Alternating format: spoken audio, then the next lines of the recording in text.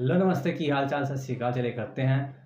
जून के महीने में बिकने वाली रॉयल एनफील्ड की सभी बाइकों के बारे में सीधी बात बिना किसी पास रॉयल एनफील्ड सुपर मिटियोर की 460 यूनिट्स बिकी थी। रॉयल एनफील्ड 650 ट्विन की 1412 यूनिट बिकी थी। हिमालयन की 3255 यूनिट बिकी थी। इलेक्ट्रा साढ़े तीन की 4320 यूनिट्स बिकी थी। मिटियोर 350 की 6864 यूनिट्स बिकी थी।